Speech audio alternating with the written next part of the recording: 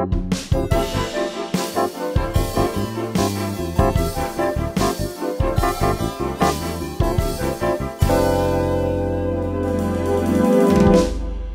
to the Royals Network Morning Show. I'm Connor. And I'm Jake.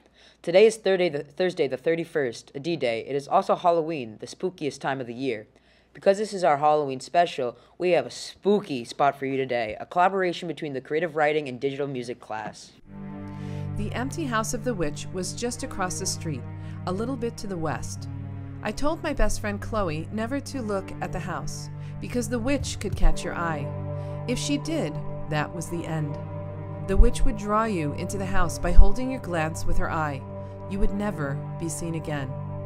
Chloe scornfully laughed at me. She said, Witches have been dead for centuries. I'll prove there's nothing to your nonsense. Come with me. We shall go into the house and look around. C'est bon. I was afraid not to seem brave, so we went in the unlocked front door together. I felt a deadly sensation of dread, as if we were being watched. It was near 5 p.m. in late October.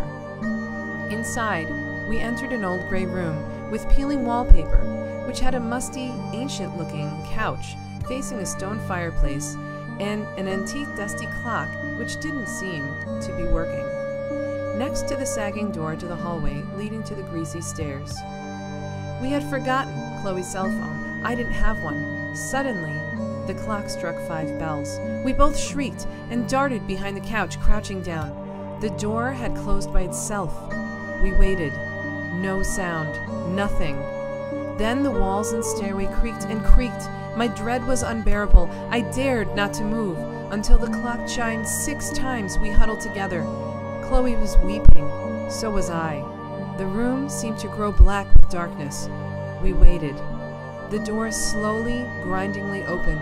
The creaking seemed as if the door was a wall being slowly ripped apart.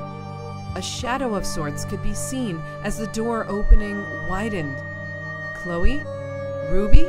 It was my father.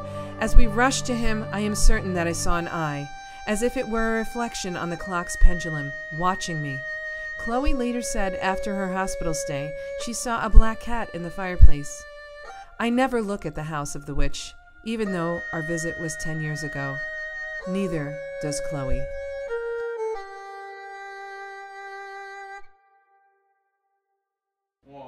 That's all we have for today. Be safe and have a spooky day, Port Jeff. And oop,